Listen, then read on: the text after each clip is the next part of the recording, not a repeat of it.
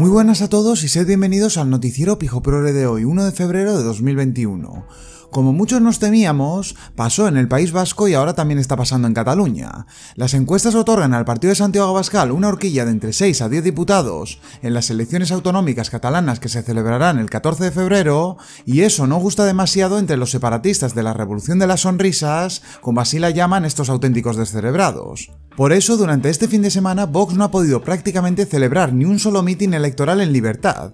Este pasado sábado, en el lugar en el que Santiago Abascal e Ignacio Garriga tenían previsto ofrecer un mitin en Gerona, unos cuantos de estos violentos irrumpieron y lanzaron todo tipo de improperios y objetos contra todo aquel que hasta allí se acercó. Pues bien, tras este ataque en Gerona, la campaña electoral de Vox volvió a ser el blanco de los que no quieren unas elecciones libres y pacíficas en Cataluña, cuando en el día de ayer otra turba acosaba e insultaba a Javier Ortega Smith y otros miembros de Vox que finalmente tuvieron que ser escoltados por la policía catalana.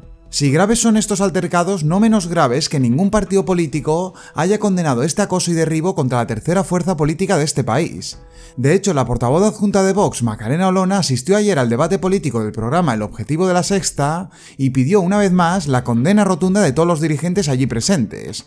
La respuesta fue el silencio absoluto, incluso de los representantes del Partido Popular y de Ciudadanos. Verdaderamente lamentable, y me quedo corto con los calificativos. Sí que hay que decir, en cambio, que a nivel particular el partido de Santiago Abascal ha recibido el respaldo y los ánimos frente a estas agresiones de la diputada Cayetana Álvarez de Toledo, Sergio Sayas y de Tony Cantó. Eso sí, los medios como siempre a lo suyo, a seguir criminalizando a Vox llamándoles extrema derecha, mientras a los acosadores de Arran les llaman organización juvenil.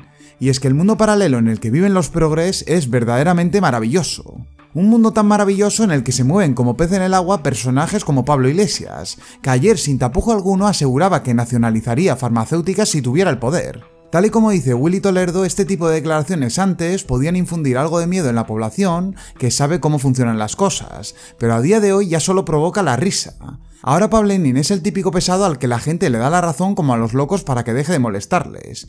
Y esperad a los resultados de las elecciones catalanas, porque el castañazo electoral que le espera a la formación morada puede ser antológico. Hablando de las elecciones catalanas, en la noche de ayer se celebró el primer debate entre candidatos, un debate que perfectamente se podría resumir con esta gran intervención del candidato de Vox Ignacio Garriga, que de esta manera cerró la boca al resto de candidatos a la Generalitat. Y Vox estará con todos aquellos que sean capaces de responder a las preguntas que muchísimos catalanes quieren saber de todos ustedes. ¿Quién de ustedes está dispuesto a frenar la creciente islamización de Cataluña? ¿Quién de ustedes está dispuesto a frenar la invasión de migración ilegal en Cataluña? ¿Quién de ustedes está dispuesto a acabar de una vez por todas con esa subvención a los exmenas que por unanimidad aprobaron todos ustedes y está dispuesto a devolverlos con sus padres, que es con quien deberían estar? ¿Y quién de ustedes está dispuesto a acabar con la ocupación de verdad? Ahí estará Vox. Quien apoye todo eso, sin duda, Vox estará ahí porque Vox viene a dar voz a tantísimos catalanes que ven que ustedes se pelean por sus sillones antes de hablar de estos temas que yo he puesto sobre la mesa. No sé si alguien recoge el guante. No. ¿No? Esa es la gran respuesta que tienen los catalanes. Silencio. Ven como ninguno de ellos está por los problemas reales de los catalanes. Ese silencio que oís tras las palabras de Ignacio Garriga refleja perfectamente lo mucho que le importa a esos políticos los verdaderos problemas de la ciudadanía.